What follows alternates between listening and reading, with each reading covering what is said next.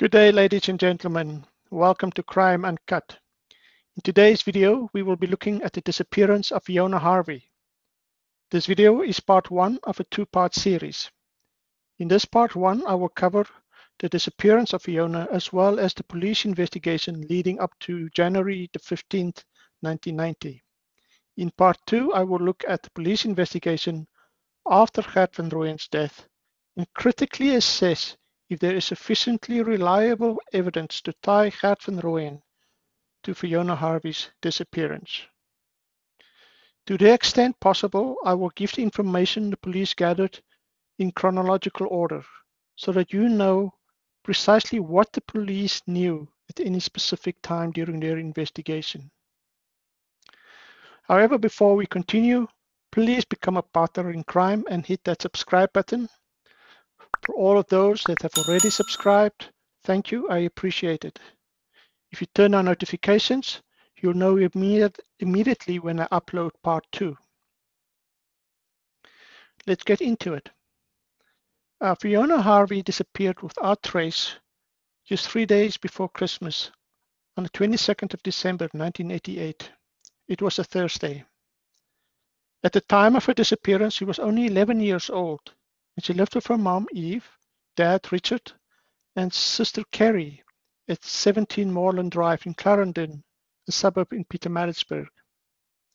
Apparently, Fiona was a very quiet child and loved horse riding, and she liked to draw. And she also attended horse riding lessons. Now, according to Fiona's mother, at about 1305, on December the 22nd, Fiona left the house to go and buy milk at the tea room, also known as Dell's Superette, about 600 meters away, situated on Roberts Road, right next to the Clarendon Primary School, where Fiona has just completed Standard 4 or grade 6 nowadays. Fiona's mom gave her 4 rand to buy 2 liters of milk. However, Fiona decided that they needed more, so she took some of her own money to buy an additional two liters. Her mother said it was not necessary, but Fiona insisted. Barefoot and dressed in a t-shirt and shorts, Fiona presumably walked this route to the tea room. It would have taken her about 10 minutes. In an affidavit, the owner of the tea room said that Fiona arrived at the store at about 12.15 or 12.30 and first asked for two liters of milk and then paid for them. Then she went back to the refrigerator and bought another liter. And then she put the remaining change on the counter and asked whether there's enough to buy a fourth liter of milk. The owner counted the change and said that there is enough. So Fiona got another liter of milk, and the owner then placed the four containers of milk in two plastic bags, a blue one and a pink one. The owner said that Fiona was quiet and shy and did not speak to anyone else. According to Fiona's mother, at about 1340, when Fiona was still not home, she realized that something must be wrong.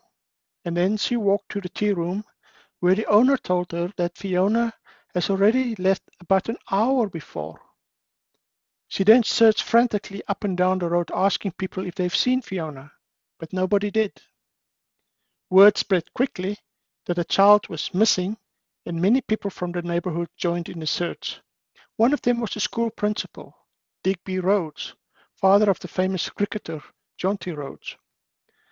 The police were called to the scene, but despite a wide search, there were no signs of her anywhere.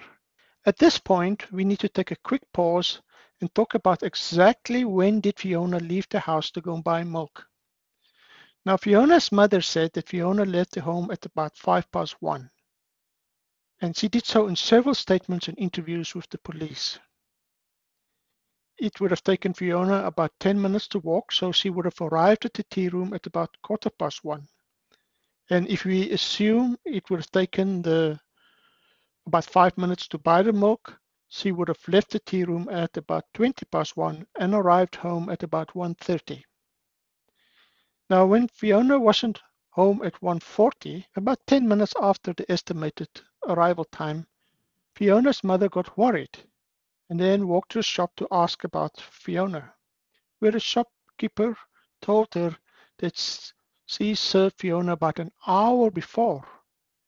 And according to the owner, Fiona arrived at the shop at about 12.15 or 12.30, meaning that she must have left home at about 12.05, between 12.05 and 12.20. Who's correct? And this is not a trivial matter. I have seen no evidence that the police resolved this obvious contradiction. Fiona's mother made a total of three statements between the alleged abduction and April the 5th, 1989. And in all of them, she mentions five past one. And it does not appear as if any attempt was made with Mrs. Harvey or the shop owner to resolve this time discrepancy. Later, you'll see there was a witness that saw Fiona Harvey along Roberts Road at approximately midday between 12 o'clock and 1.30. So his time frame also does not clarify this issue either. I have seen official police correspondence that use 12 o'clock as the time, and I've seen other documents that still use 5 past 1. Now, by between 8 and 10 the next morning, members of the community watch, the municipality, the army, and additional police were summoned and were deployed in three groups to conduct a wide search for Fiona, as far as the Voortrekker High School and the Botanical Gardens. And by 10 a.m., photos were obtained from, from Fiona's parents, and a flyer was made and distributed. Newspapers as well as radio stations were informed.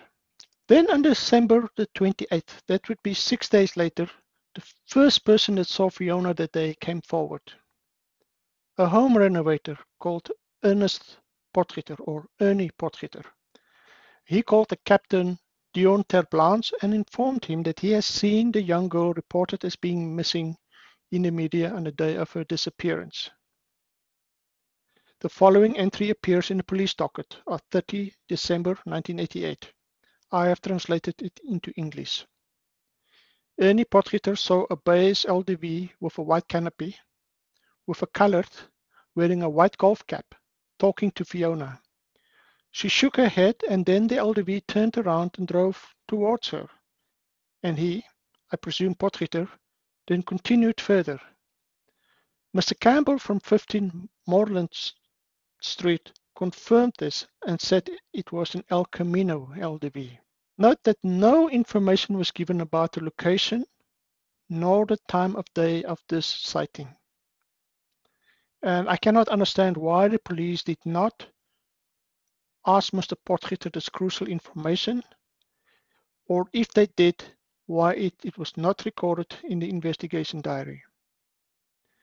Much later on January the 5th, 1990, the police spoke to a witness that recalled seeing a white LDV making a U-turn at approximately the same spot where Potgieter also saw the, L, the LDV. So this corroborates Potgieter's observation that the driver turned around. Now note, at January the 5th, 1990, there were a lot more information available as to where Potgieter actually saw this LDV. Although there is nothing about this in the investigation diary. Apparently, there was a boy that told the police that he saw a white LDV, a Datsun Pulsar type with a canopy at the tea room. He supposedly saw a man talk to Fiona at the shop when she went in. When Fiona came out, the man called her to the vehicle and spoke to her again. And there was also a woman in the vehicle. The boy then went in to buy something, and when he got out, he just saw the same LDV driving very fast out from the side road. And there was only a man in the vehicle then. Now that's all we know about the sighting. No time, no descriptions. And for reasons I am not aware of, it doesn't seem like the police took his sighting very seriously. Now, if you look at this map, I'm not sure which side road he's referring to, possibly this little dirt road that leads to the cemeteries at the back of the school. On January the 4th, 1988, the investigation diary contains the following entry. Unknown person gave information, vehicle NR9660, white LDV with canopy. often attempts to pick up children, several complaints, Indian man. This is just but one example of the leads the police received. Here's another example from the investigation diary dated March the 8th, 1989. Both, there being two white females, reported that a suspicious white male with a sallow, dark complexion has been seen by various school children near, for, near Voortrekker Senior Primary School in various different motor vehicles. This person follows the children on foot and sometimes in the motor vehicle and has been seen in a maroon colored motor vehicle, a light blue Nissan LDV, and has also been in the company of a white female on occasion. Interestingly, on January 18th, the school principal, Digby Rhodes, told the police that only one kid in the school came forward since the schools opened, and that this kid saw a red Monza vehicle stop at Fiona but that the car drove off without Fiona getting into the car. Potgieter was again questioned by the police on March 8, 1989. And in the police docket, this interview is summarized as follows. During the investigation of this case, white male Ernie Potgieter was interviewed and maintains that he saw a child fitting the description of Fiona Harvey being approached by a white male who he describes as being 35 to 40 five years of age, with dark brown receding hair, with two to three days old beard on his cheeks, and who was wearing a white golf cap, in Roberts Road opposite Clarendon School on the day that she went missing. He described the motor vehicle driven by this person as an LDV old model, either a Toyota, Isuzu, or Mazda, which was beige in color and had a light white canopy. Now this maps show the general area in which Potgieter saw Fiona. Now, note that the colored from Potgieter's first uh, statement to the police now became white male. And now he could see receding hair in spite of the person wearing a white golf cap. Please note that at this point, the investigation diary contains no information on the approximate time of the sighting or that Fiona was carrying a plastic bag. Therefore, the diary does not contain sufficient information to say whether the sighting occurred before or after Fiona bought milk or in which direction she was walking.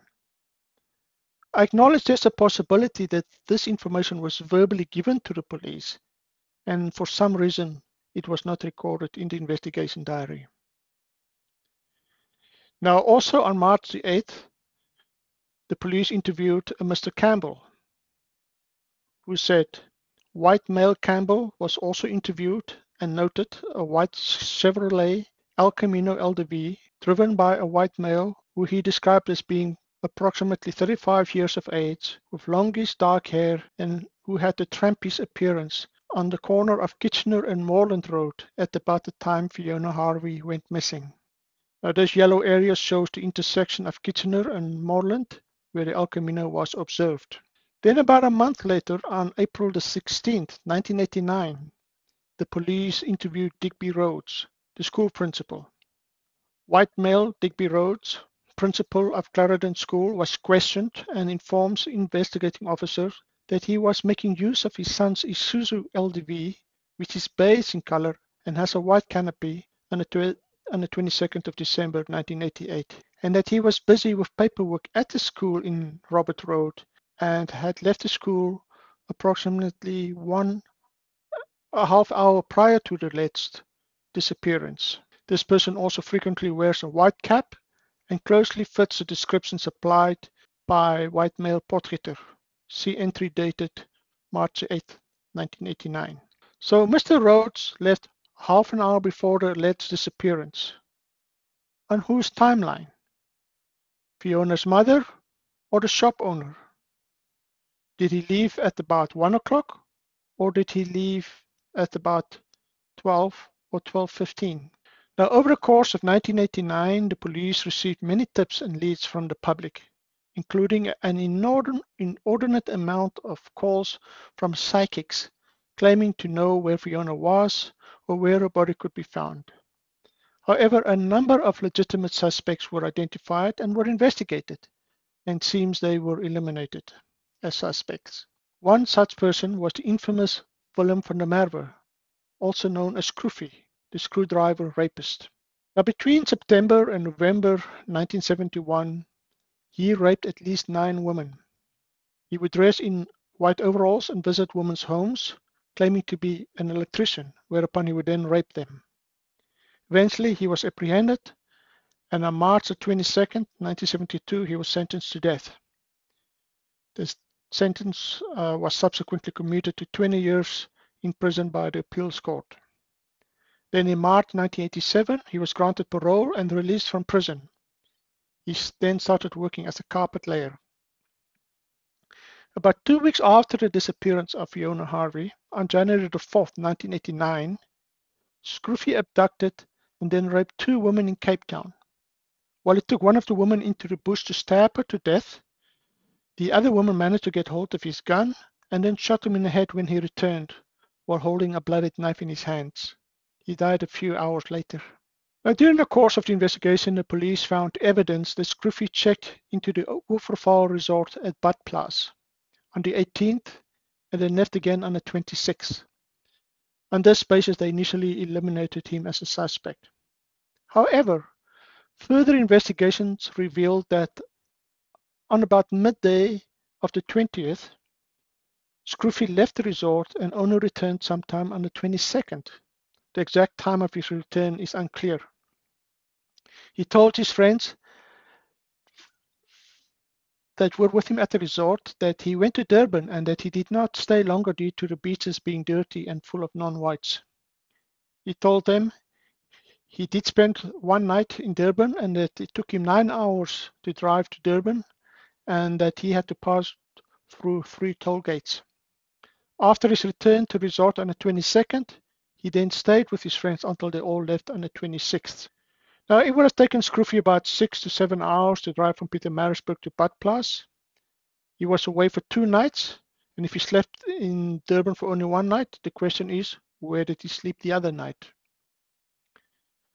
Almost two weeks after his death, on January 16th, the forensic laboratory conducted a macroscopic and a microscopic analysis of hair found in Scroofy's vehicle and compared it with a sample of Fiona's hair. The results were negative. A match could not be made. But keep in mind a very famous saying, the absence of evidence is not evidence of absence. Just because a hair could not be found is not evidence that she was never there. At this time, photos of Scruffy obviously appeared in the media and Ernie Potgieter later said in an affidavit made in January 1990 that he was absolutely convinced that Scruffy was not the same person that he saw in the base LDV talking to Fiona.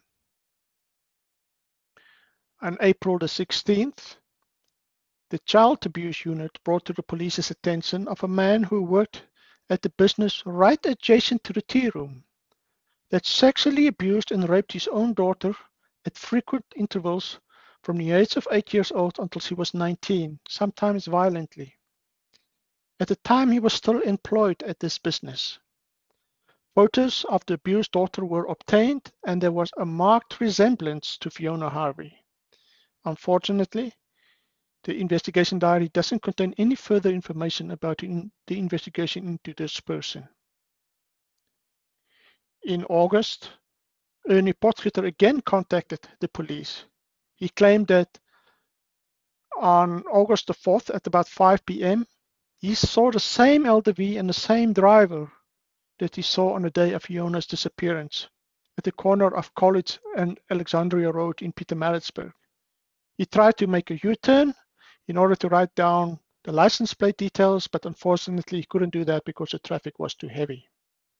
On June the 7th, 12-year-old Joan Horn was abducted in Pretoria by a blonde woman driving a Ford Bantam LDV white in color with blue stripes on the side. And on September the 11th, Odette Boucher and Anne-Marie Wapenaar were abducted in Kempton Park. A young and older man and a green and white combi was seen in the area sometime before their, their disappearance. On November the 3rd, Yolanda Wessels was abducted, also in Kempton Park. She went to the same school as Odette and Anne Marie. Yolanda was last seen in the presence of a blonde woman driving a green and white combi. On November 21st, the investigating officer interviewed several of the officers or investigating officers uh, investigating the other abduction cases, and it was concluded that no link could be established between the disappearance of all these young girls. Then the next big break came on December the 12th, when the police conducted telephonic interviews with uh, Mrs. Wallace from Menlo Park in Pretoria and her mother, Mrs. Smith, from Ireland. Now, under, they say that on the day of Fiona's disappearance, they were house sitting at 55 Kitchener Road. They said that they noticed a white, off-white Japanese model LDV with a canopy, with a ladder on the roof, and with red writing on the doors in a semicircular shape, driven by a white male in the area for two to three days in succession. The last sighting of the LDV was apparently on the day that Fiona disappeared. According to Mrs. Smith, these sightings occurred between 1 p.m. and 3 p.m. and admitted that it is just a rough estimate and that it could have been earlier. And then on the basis of the information received from these phone interviews, the investigating officer drew the following sketch. Now, I imagine that the police officer uh, obtained a little bit more information in order to determine that the canopy was not actually a canopy as you and I know it, but of uh, more of a vehicle rack, a metal frame. Uh, please note that there is no information on the direction the vehicle was traveling in or whether it was stationary or moving. On December the 18th, the investigating officer contacted the press liaison officer regarding a press release and on December the 20th, a description of the vehicle as given by Wallace and Smith appeared in the newspaper. Now on December the 20th, Probably in response to the newspaper article, the police received information from someone that lived at 17 Waffle Drive who observed a suspicious LDV parked against the fence at the corner of Moreland and Kitchener Road. The date of the sighting is unknown. This person also said that she saw Fiona on the 21st, the day before her disappearance, at about 1.20 p.m walking along Waffle Drive. On the same day, the police obtained information from another resident, and this one lived at 15 Waffle Drive. And he noticed an LDV on the 21st at about 10 p.m. parked on the verge at the corner of Moreland and Kitchener Road with a white male sitting in it. So now we have four different sightings of a stationary or moving LDV at the intersection of Moreland and Kitchener. There is Campbell that said he saw a 35-year-old trampish-looking male in a white El Camino LDV at the time of Fiona's disappearance. We have Wallace and Smith that said that they saw a white Japanese-style LDV with a canopy or a frame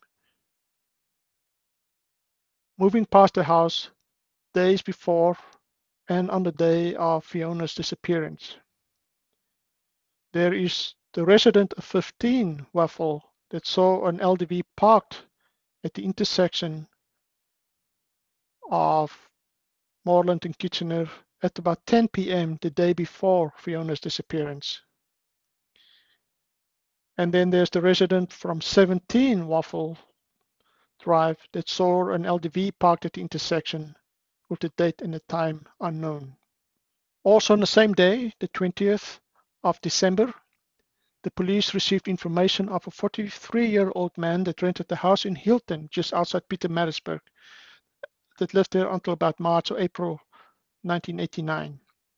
He supposedly had a torture chamber built into his house and had a history of raping females in the Howick and Pietermaritzburg areas. It was recorded that he drove a Toyota base LDV with a white canopy. Apparently, he regularly went to Johannesburg on business for two to three days at a time and could fit in with all the disappearances in that area as well as in Pietermaritzburg. And he also fitted the description provided by Ernie Potgieter. A week later, on the 27th, the police traced this man to East London and found that he actually owned a Toyota, a Toyota Corolla car, and they therefore no longer considered him a suspect. Uh, however, there's no information as to whether someone checked whether at some stage before he might have owned an LDV and perhaps sold it. On January the 5th, 1990, the investigating officer was informed that the meeting will be held, I presume of all the different investigating officer of the other disappearance cases, to establish if a definite link exists between the various crimes. However, this meeting became unnecessary because of the abduction of Joan Booysens and events that followed. On January the 11th, 16-year-old Joan Booysens missed the bus on Church Square in Pretoria to take her to school that morning. According to Joan's statement, while she was waiting for the next bus, a woman approached her and offered her a lift to the school.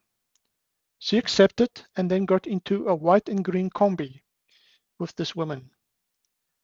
Along the way, the woman told her that she had to make a quick stop at the house to speak with her brother and then drove to a house with a large advertising board on the outside which said Van Rooyen and Broers. She said the woman invited her in and offered her a glass of Tropica to drink.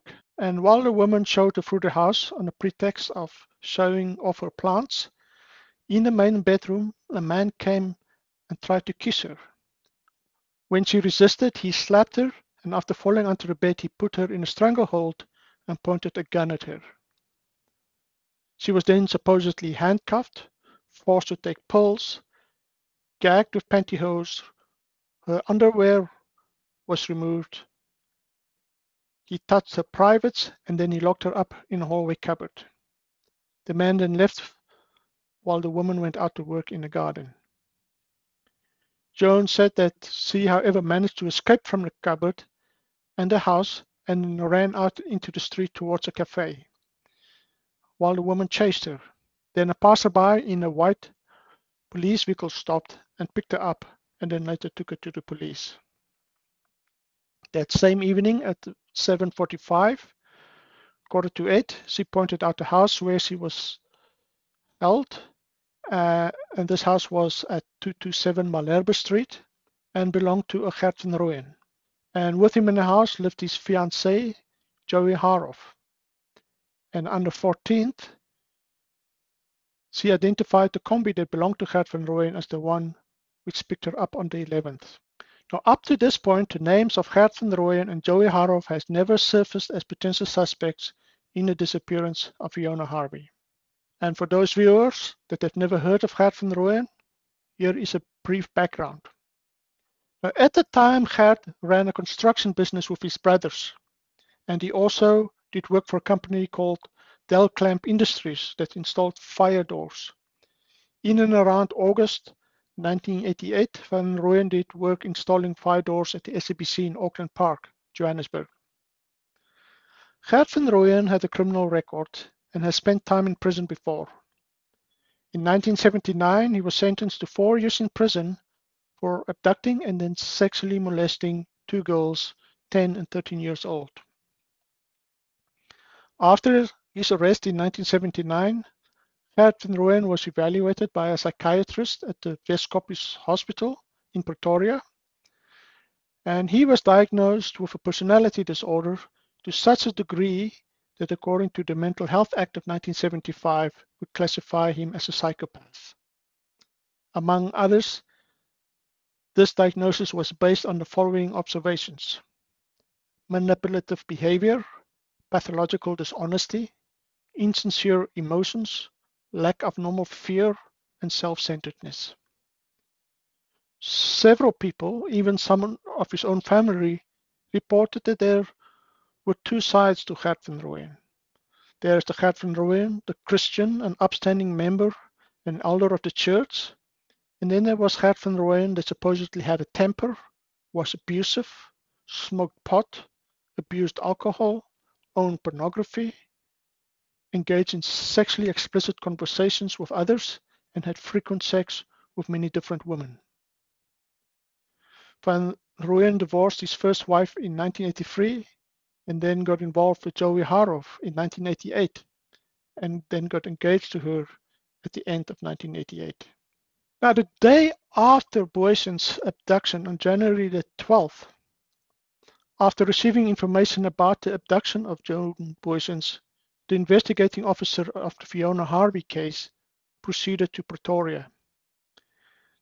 Now remember, at this time, the only link between the Booysens and the Harvey case cases was that Gert van Rooyen loosely matched the description that Ernest Potgieter provided. White male, 35 to 45 years of age, with dark brown receding hair, two to three days old beard on his cheeks, and was wearing a white golf cap. Although the police claimed so, the vehicles could not provide a link, as the Ford Bantam LDV that Van Rooyen owned at the time of Booysen's abduction was not the same old-style LDV that Potgieter saw.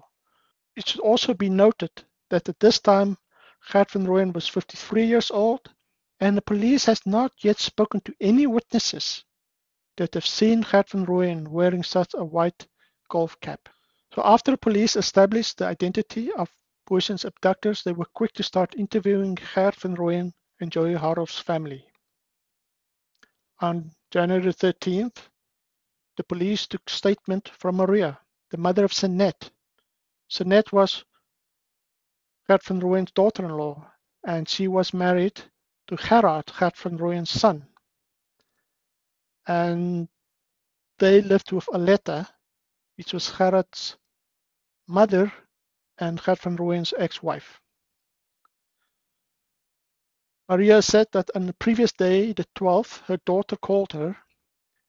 She started to cry and told her that Gert van Rooyen came to them and told them that he was involved in the abduction of the missing children. Please note, she did not give the names of the children. She said that Joey would drive the Volkswagen Combi while Van Rooyen would sit in the back and inject the children to subdue them. She also said that Joey recently abducted a young girl in Pretoria and that the girl escaped. On January the 14th, the police took a statement from Poppy, half-sister of Joey Haarhoff. She said that on January the 11th at about 11 a.m., that must be shortly after Joan Booysen's escape, Joey called her and Joey was very upset and told her sister that she had kidnapped a child and that she was going to be arrested.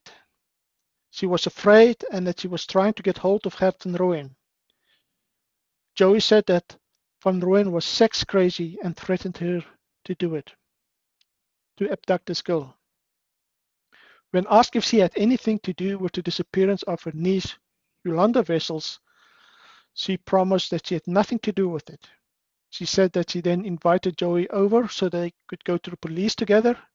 And Joey said that she couldn't do that because she would be hanged.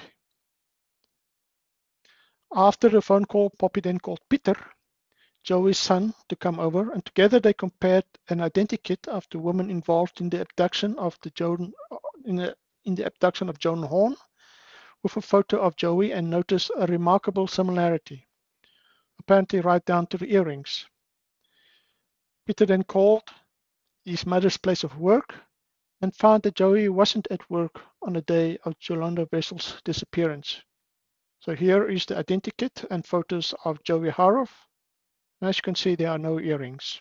On January 14th, the police took a statement from Sanette, and she said that Gert van arrived at the house, presumably on the 11th, and told her mother-in-law that Joey had abducted a girl handcuffed her, put nylon stockings in her mouth, locked her in a cupboard, but that she somehow escaped and got picked up by someone in a white LDV. This closely matched Joan Booysen's version of events.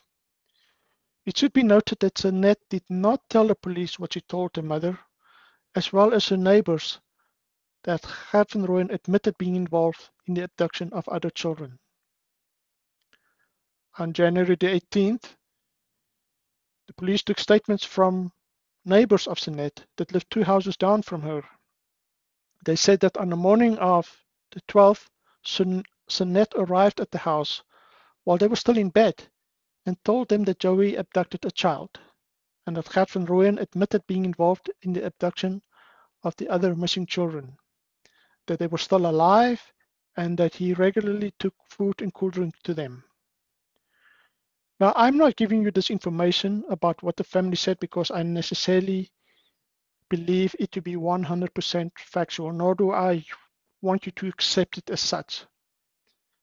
The veracity of these statements is perhaps something that I need to look into for another video. But I simply want to show what the information the police were exposed to and what they have to rely upon to inform their conclusions about Gert van Rooyen's involvement in the Fiona Harvey case. So it seems that on January the 13th, Gert van Rooyen and Joey Haarhoff drove down to Durban. And according to Joey's half sister, Poppy, Joey called her twice a day. The first call was at 1 p.m. to say that they were in Durban, and again later that evening at 7 p.m to say they were in Scottburgh. They actually spent their last weekend in Umdloti. Apparently, at about 4.30 on January 13th, a traffic police officer pulled Gert van Rooyen over for speeding on the N3 going southbound through Pietermaritzburg. He was doing 93 kilometers an hour in a 60 kilometer per hour zone. Later on February the 6th, the traffic officer made a statement that he saw two girls on the back of the vehicle under a pink blanket, sitting very still as if they were dazed or cold. He later recognized them to be Anne-Marie Wapenaar and Odette Boucher. Now there's a juicy discrepancy here.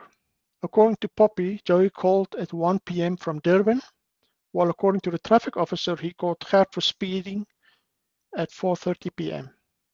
This is perhaps for another video. Then on the 14th, Gert van Rooyen and Joey Haro for some reason decided to return to Pretoria without the two girls. And unbeknownst to them, two officers were already staking at the house. When they arrived home in Malherbe Street at around midnight, they noticed a police car that started following them and a chase ensued that ended up in the death of van and Joey Haarhoff. They died of bullet wounds to the head and the official version is that they committed suicide. That's all for part one, ladies and gentlemen. I hope you found this video interesting and informative. If you did, don't forget to subscribe and to press the like button. Soon I will bring out part two. Until then, take care. Thank you.